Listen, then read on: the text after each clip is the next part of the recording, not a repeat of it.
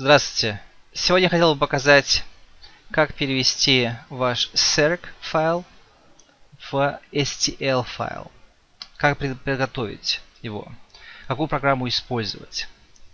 Если кто еще использует BlueCam э, и кто использует Omnicam, если ваша программа, как у меня на компьютере, находится 4.3, 4.3 программа не имеет тот файл, который вы можете перевести на STL файл, то есть напрямую.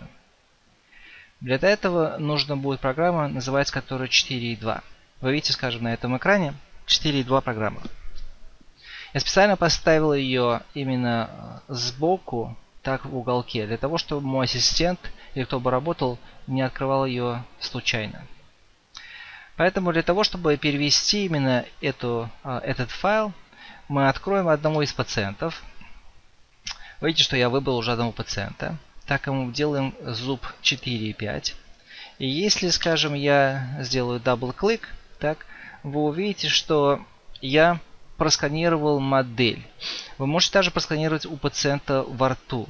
Нету разницы. Видите, что по сравнению с DICOM файл, то есть рентгеновского файла, наш, наша модель она намного опрятнее и точнее.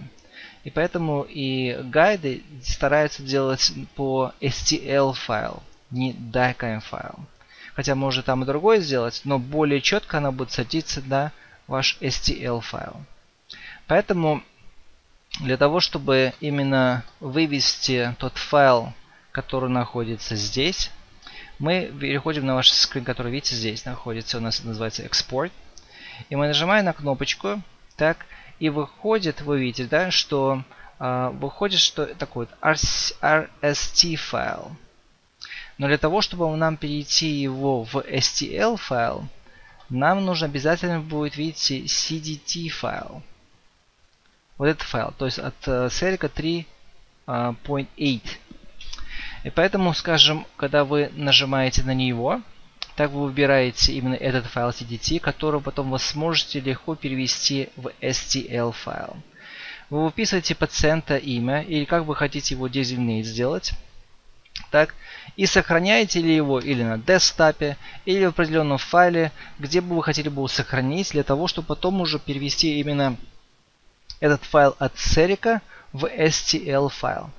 Вот такое маленькое видео, показать вам, какой из файлов вам нужен, если вы переходите от Serica, хотите перевести файл в STL файл. Спасибо большое.